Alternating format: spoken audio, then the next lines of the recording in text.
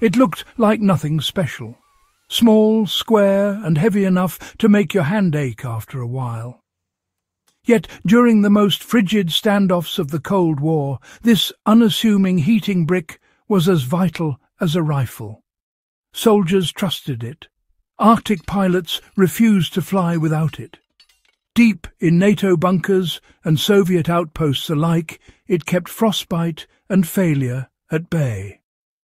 While the world's superpowers raced to build nukes and satellites, this quiet chunk of chemistry made sure human beings could actually survive in the places those machines were meant to reach. Today it's nearly forgotten, but the story of the Cold War heating brick is one of raw ingenuity, born out of the kind of desperation that only minus 40 degree winds and nuclear paranoia can create. After World War II, both the United States and the Soviet Union expanded their reach into the planet's most brutal frontiers, the Arctic, Siberia, northern Canada. These weren't just wastelands, they were the perfect vantage points for radar arrays, missile silos and early warning systems. But there was one colossal problem, the cold itself. In those conditions, ordinary tools didn't just fail, they died. Kerosene froze, matches shattered, batteries drained to zero before sunrise. Even the toughest field stoves struggled when fuel gelled in the tanks. For scientists and soldiers stationed in these frozen outposts, warmth wasn't comfort. It was survival and survival demanded something better than flame or electricity. So engineers set out to create a new kind of heat, one that needed no fuel, no moving parts, and no oxygen. What they built would quietly become one of the smartest survival technologies of the Cold War era. A reusable heating brick that, quite literally, never froze. Inside each of these metal-encased bricks was a secret weapon of chemistry called a phase-change material, or PCM. Sounds fancy, but the idea is simple. When something changes from solid to liquid, it absorbs heat. When it turns back into solid, it releases that heat slowly and steadily. The version used in most Cold War heating bricks relied on sodium acetate trihydrate, the same substance found in modern reusable hand warmers. When heated above about 58 degrees Celsius or 136 degrees Fahrenheit, it melted into a clear liquid, storing a remarkable amount of energy. Once activated, usually by bending a small metal disc or introducing a seed crystal, it would begin to solidify, releasing that stored warmth for several hours. Here's the genius. Unlike water, sodium acetate doesn't expand or crack when it freezes. It doesn't degrade after hundreds of uses, and it doesn't need oxygen or combustion. That meant it worked anywhere, from submarines to high-altitude jets to underground bunkers, without risk of suffocation or explosion. This wasn't just chemistry, it was survival engineering at its finest. By the early 1950s, both NATO and Warsaw Pact forces had adopted versions of the heating brick. Field manuals from the era describe soldiers using them to warm rations, thaw frozen boots, and even preheat vehicle engines before dawn patrols. A few could heat a tent. Several could keep a small outpost livable overnight.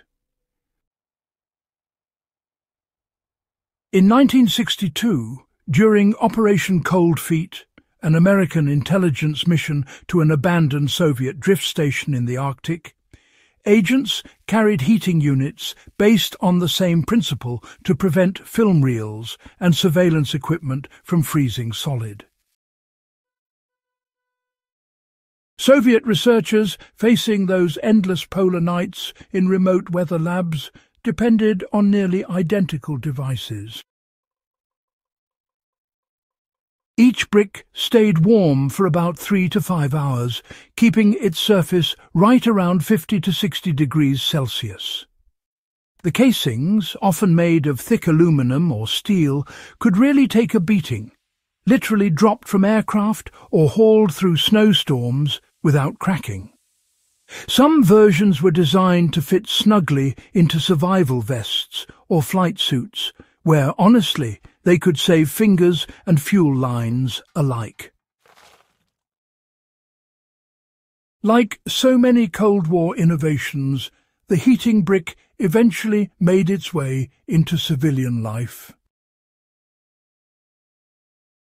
By the 1970s, Eastern European households began using smaller consumer versions as bed warmers or portable heaters.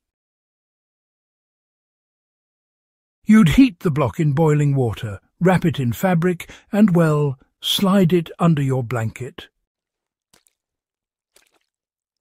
For families living through power shortages, this little brick was worth its weight in gold.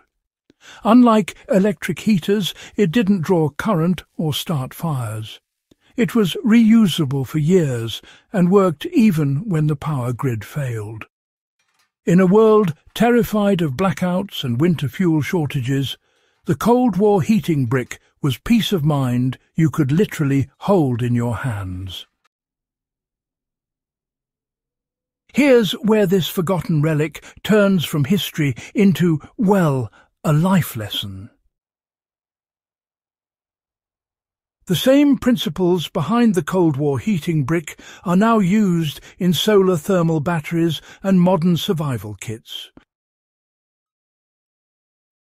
Sodium acetate and similar phase change materials are at the heart of heat storage systems that capture sunlight during the day and release it at night, especially in off-grid or remote living setups. If you want to recreate the concept yourself, it's easy. Get a set of reusable sodium acetate heat packs, the kind you click to activate. To use them effectively in the field. First, charge them by placing them in boiling water or near a campfire until the contents turn clear. Next, let them cool and keep them sealed in your gear. When needed, snap the internal disc to trigger crystallization and release the heat. Wrap them in a towel or cloth for insulation and place them in your sleeping bag, gloves or under your jacket. Each one gives you hours of clean, steady warmth and can be reused thousands of times. No batteries, no fumes, no fear of freezing. That's the same kind of dependability that Arctic soldiers relied on in the 1950s. And it's exactly the mindset modern survivalists crave. Gear that works when everything else fails. When we think of the Cold War, we tend to picture missile silos, spy planes and propaganda posters. But the truth is, none of that would have mattered without people who could actually endure the conditions of that frozen battlefield. The heating brick wasn't flashy or secret. It wasn't even classified. But it symbolized something deeper. The human need to adapt to build solutions that don't depend on luck, fuel or perfect weather. Every time one of those bricks thawed a frozen ration or saved a stranded pilot, it proved that sometimes, well, survival isn't about firepower. It's about foresight. Today, as we talk about sustainability and off-grid living, the same chemistry that powered those Cold War devices still, you know, lights the path forward. Whether you're prepping for an expedition, living remotely, or just trying to keep warm in a blackout, the heating brick's legacy lives on, in every heat battery, in every thermal pack, in every piece of tech that says, I'll work when nothing else will. So, next time you feel the chill and reach for a hand warmer, remember, you're holding a piece of Cold War brilliance.